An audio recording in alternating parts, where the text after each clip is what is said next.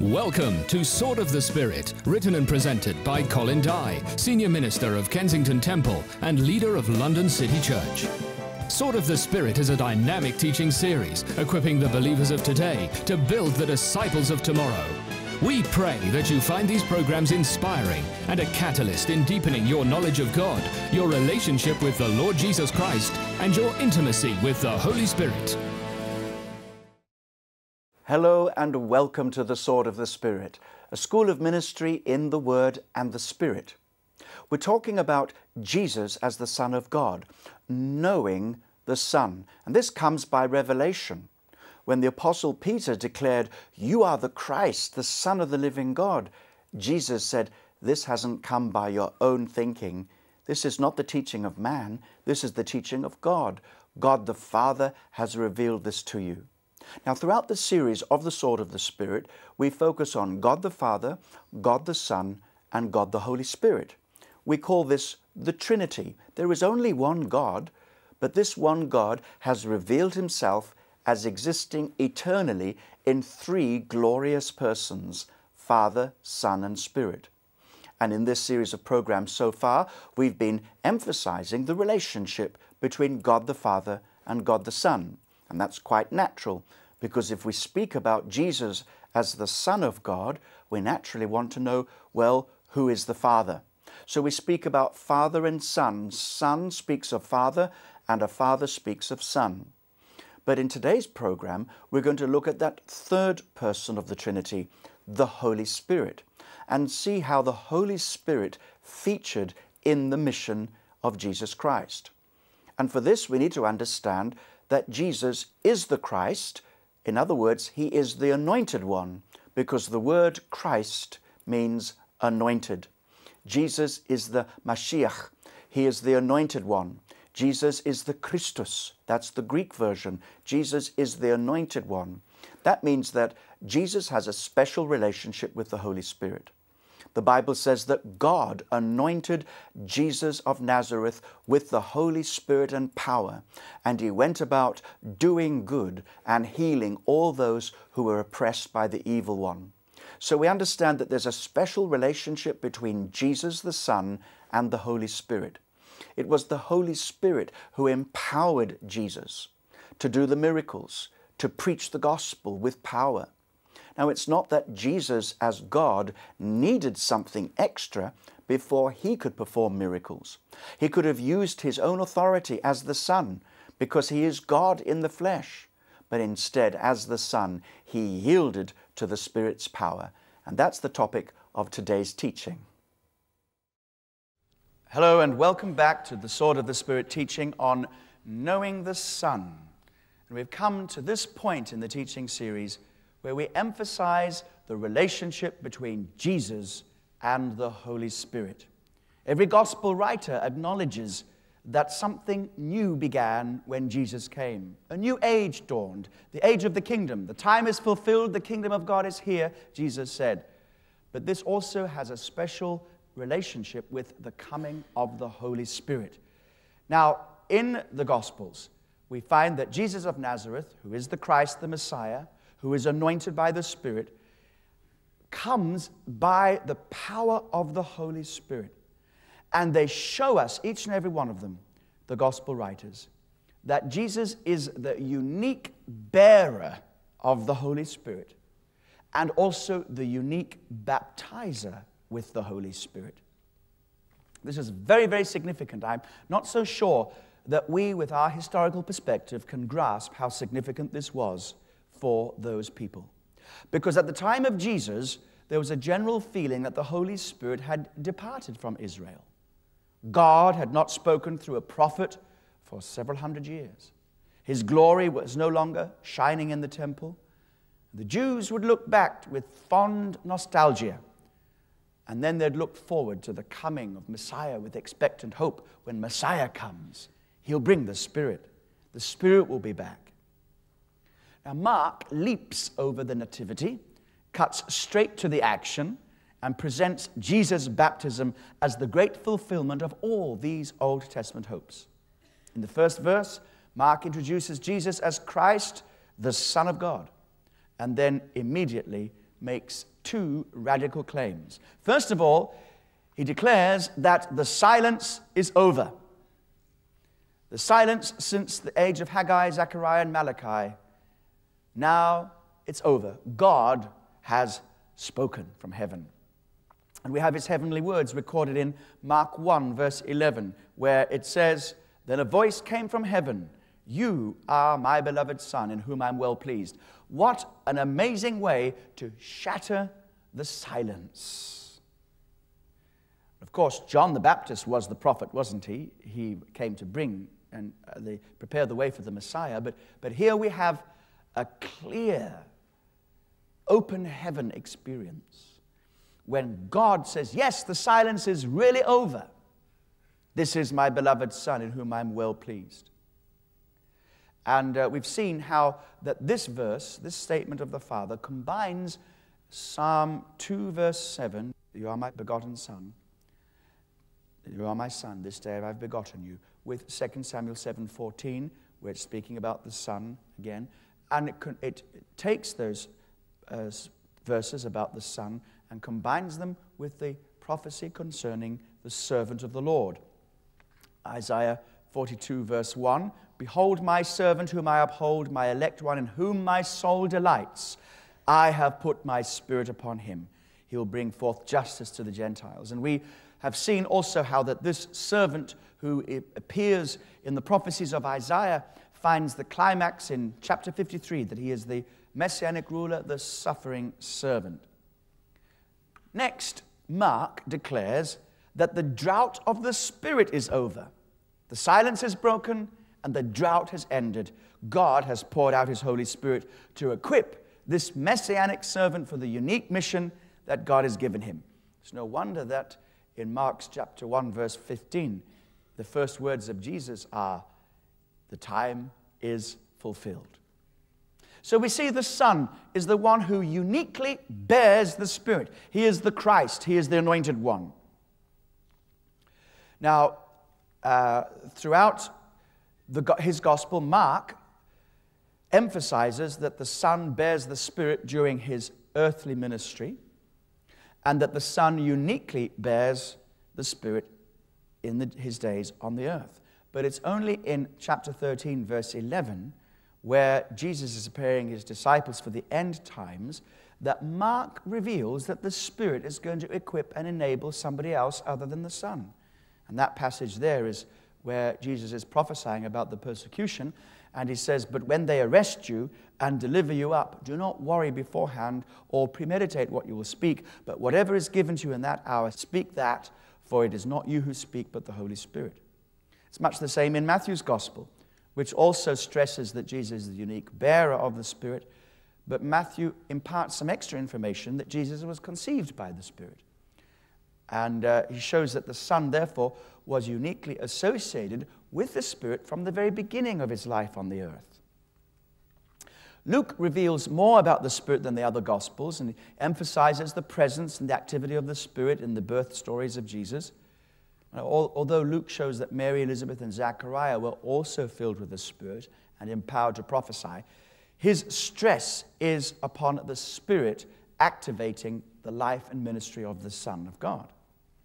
He shows, for example, that the Spirit led the Son into the, into the wilderness that the Son was filled with the power of the Spirit when he began his ministry. Uh, and that the anointing of the Spirit, as prophesied in Isaiah 61, dominated and directed the whole ministry of the Son. John's Gospel adds one further revelation about the way the Son uniquely bears the Spirit. In 1 John chapter 3, verse 34, it says that the Son, he bears the Spirit without measure. For he whom God has sent speaks the words of God, for God does not give the Spirit by measure. Now, John the Baptist's disciples claimed that God had given him the Spirit without measure, without any reserve. When Jesus was speaking with John the Baptist's disciples, he describes the fact that he received the Spirit without measure. And uh, he claims then that God had not held anything back in giving the Spirit to Jesus. In this remarkable way, I believe we see Jesus standing again, unique in history, as the only person who's received an unlimited anointing with the Spirit. Now, some people who talk about they've received an unlimited anointing, and I sometimes I know what they mean sometimes because when we are baptized into Holy Spirit, we're baptized into all of Him. But I think that when we talk about Jesus bearing the Spirit, He wasn't just baptized in the Spirit, he was bearing the Holy Spirit. He was carrying the Holy Spirit, which shows two things. It shows Jesus' humanity in that he was one upon whom the Spirit came, the man whom, upon whom the Spirit came. But it also shows that he was more than man, for he must have been utterly, totally unique, the Son of God. He must have been God himself to carry and bear the infinite, omnipotent, unlimited Spirit of God. So that's why I say that Jesus had a unique, unlimited anointing because he carried the Spirit in an unlimited way as the Son of God. He didn't only receive the Spirit, but he bore the Spirit. He wasn't just baptized into the Spirit, but he bore the Holy Spirit. So he is the unique bearer of the Holy Spirit. That's how we meet him in the Gospels. But we also discover from the very beginning of the Gospels that he is to be unique in another sense. He is to be the unique baptizer with the Spirit. And uh, this comes through John's announcement and also comes in the book of Acts. And there are very few statements in, in the Gospels that are repeated in all of the Gospels. Of course, we have the teaching of the cross and the resurrection, but John's announcement that Jesus should be the baptizer in the Holy Spirit is is given such emphasis that, as far as John the Baptist is concerned, it is the distinctive activity of Jesus himself. And so, when we come to the Gospels with fresh eyes, we can still be surprised that after this introduction to the Son's Spirit baptizing mission, that they go on describing Jesus doing everything but baptize with the Spirit. It's reserved for some other time. John says when he comes, he'll baptize in the Spirit. It doesn't happen. Not until Jesus dies and is crucified and then is glorified. Because the whole of the New Testament teaches that in the death, resurrection, and glorification of Jesus Christ, then the age of the Spirit can come. Every gospel looks forward to the day when the Son will send the Spirit to equip the disciples and to share the mission of Jesus. One of the clearest ones is John 7 39. But this he spoke concerning the Spirit, whom those believing in him would receive. For the Holy Spirit was not yet given, because Jesus was not yet glorified. And so here we have the, the demarcation of the age of the Spirit. God's Spirit was going to come after the glorification of Jesus. And in John's Gospel, uh, in the last discourses of John's Gospel, Jesus said, I must go away, and it's better for you that I do go away, because if I go away, then the Spirit will come. So, as we summarize this, we see that the Gospels show the Son was equipped for his unique mission by the Spirit, and the Spirit was not available to others during the Son's earthly life. But after the Son's death, after his resurrection and ascension, the Son received the Spirit from the Father and gave the Spirit to his disciples to equip them to continue in his mission. Now, let me just pause here for a moment and some puzzle over this. They say, but does this mean to say the Holy Spirit wasn't at work before the day of Pentecost? Not at all. The Holy Spirit, as we see in Knowing the Spirit in that series, that He is active from the very beginning. He's active in creation, and the Spirit moved upon the surface of the waters. He is active in anointing the prophets and, and in empowering the kings. He is active throughout the whole of the Old Testament. He's active in the life and ministry of Jesus. Even the disciples know him, they know the Spirit. the Spirit, He is with you, he says, but then later on he says He's going to be in you. There is going to be an intensification of this when the Spirit comes. He's going to not just be with you in a, in a, a superficial sense, He is going to be you're going to be immersed in him, and he's going to indwell you in a great and a glorious and in a very grand sense. And so the Holy Spirit, of course, was active in the world, but they, when Jesus is glorified, he sends the Spirit to do a new thing, not only an intensification of the work of the Spirit, but also the, the Holy Spirit is given extensively to everybody. Every believer, every person in the new covenant is eligible for this. Whereas in the old covenant, just prophets, some kings, priests were anointed with oil, but very few others. But in the new covenant, all of us can receive the Holy Spirit. So the Son is the bearer of the Spirit and the baptizer of the Spirit. He also is the revealer of the Spirit. Now, this is quite an interesting perspective because we have understood many times that uh, the revelation of God to the world was central to Jesus' mission. He came to reveal God. But this means he came to reveal not just the Father, but also the Spirit. Think about it. When we think of the Spirit in the Old Testament, we see him as the power of God, the unpredictable hurricane, the holy hurricane, God's breath wind. In the New Testament, he's no longer encountered as a naked power. Instead, he's clothed in the person and in the character of the Son. And so Jesus is as much a revelation of the Spirit as he's a revelation of the Father. That's why the Bible says, not often, but does make at least two references to the fact that the Holy Spirit is the Spirit of Jesus. Acts chapter 16, verse 7, and Philippians 1, verse 19 are the two verses there, where the Spirit is called the Spirit of Jesus. In Romans chapter 8, verse 9, he's called the Spirit of Christ. Now, this is not talking about the human spirit of Jesus. Jesus did have a human spirit, you know because a human being is body, soul, and spirit. Jesus became fully human. He had a body, soul, and spirit. He had a human spirit. But the Holy Spirit is God, and He, as, as the anointed Messiah, receives the Holy Spirit without measure. And so we're talking about here the Spirit of Jesus being the Holy Spirit. And this is meaning the Spirit that was upon Jesus, the Spirit that is in Jesus, the Spirit that's operating through Jesus, and the Spirit that Jesus fellowships with in equal companionship and essence as being God the Holy Spirit. That's what it means here, the Spirit of Jesus.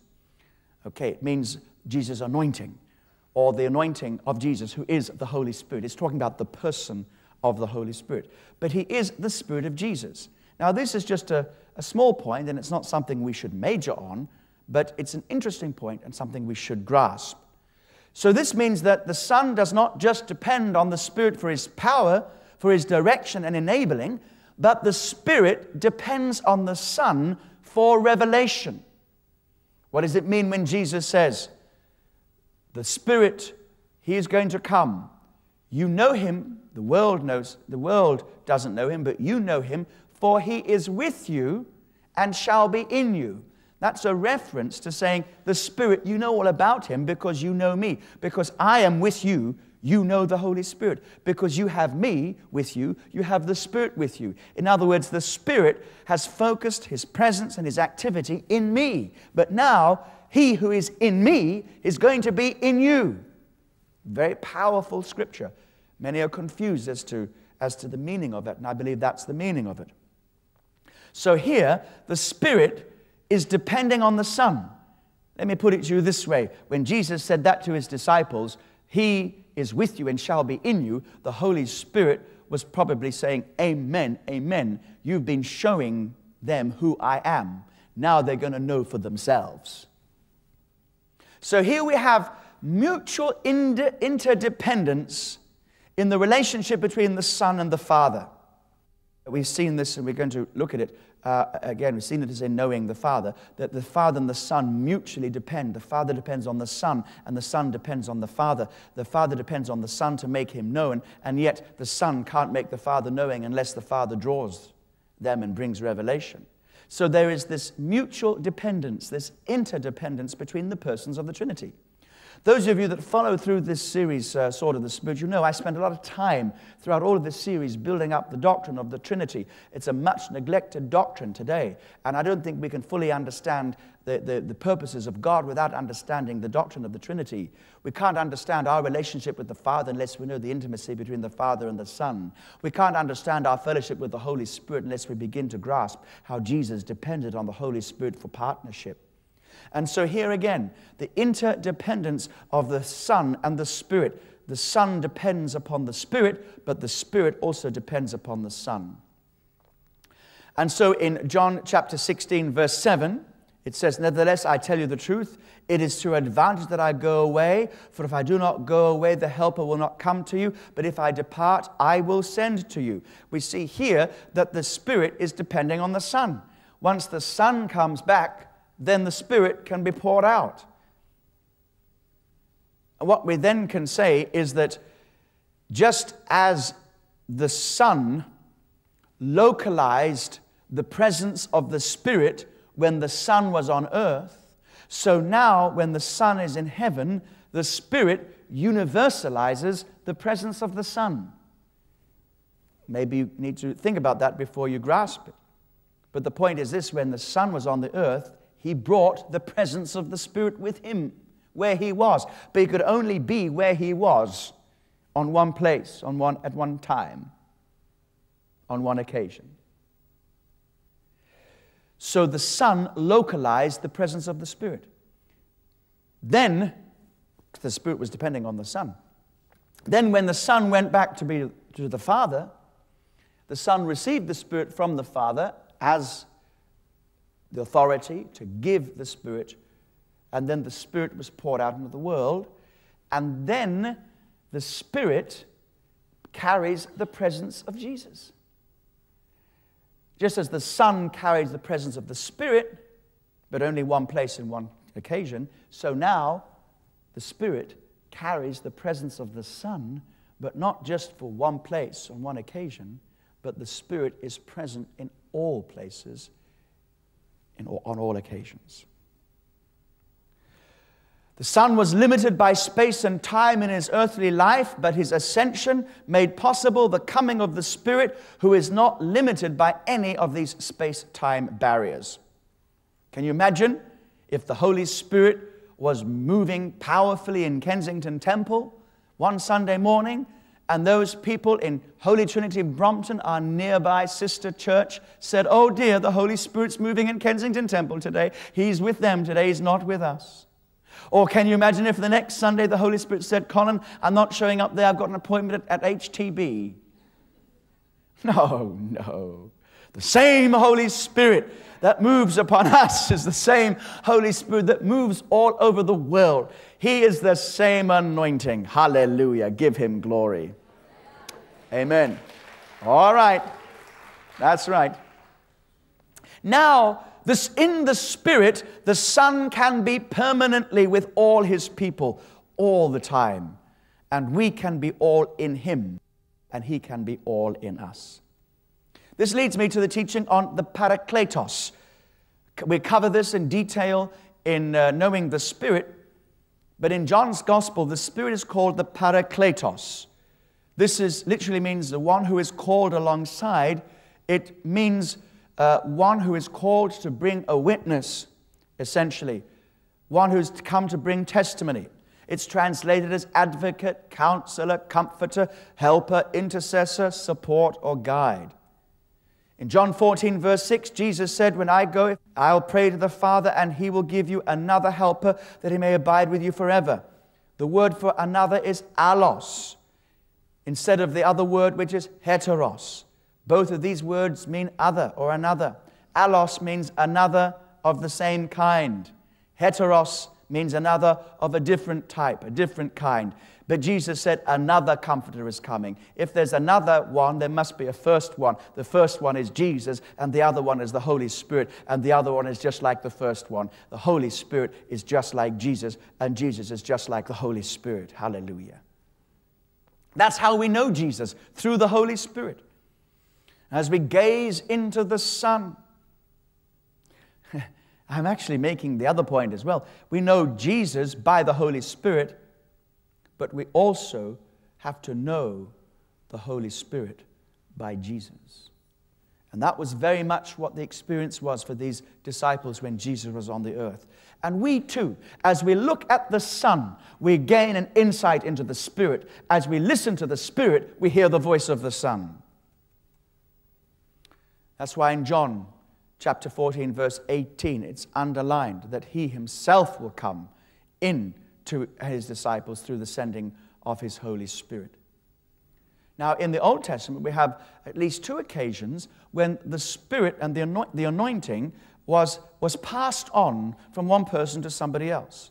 Moses, it says in uh, the scriptures, Deuteronomy chapter 34 and verse 9, how Joshua, let me, let me just read it for you because it says, Now Joshua the son of Nun was full of the spirit of wisdom, for Moses had laid his hands on him. So the children of Israel heeded him just as the Lord had commanded Moses. So here we have, there is an impartation from Moses to Joshua. The same thing happened from Elijah to Elisha. Read about it in 2 Kings chapter 2. And then Joshua and Elisha ministered in a similar anointing to uh, Moses and to Elijah. And so, in the same way, Jesus, who was anointed without, with the Spirit without limit, was allowed to pass on the Spirit to his chosen followers so that they could continue his mission, so that we can begin to do what Jesus did. So, this means the link between the Spirit and the Son has very important consequences for the way in which we live and serve as disciples today. This means that the Spirit acts now the way the Son acted in his earthly mission. The Son came from the Father as the Father's gift, so does the Spirit. The Father sent the Son into the world as his representative, so the Son sends the Spirit in his name. The Son remained with and guided the disciples, so the Spirit remains with us and guides us. The Son taught his disciples the truth because he was the truth in person, so the Spirit of truth will lead the disciples into all the truth about Jesus. The Son did not draw attention to himself, but glorified the Father by passing on the Father's message to humanity. So the Holy Spirit will not speak on his own authority, but will only take what is the Son's and pass it on to the world. The Son bore witness to the Father, so the Spirit bears witness to Jesus.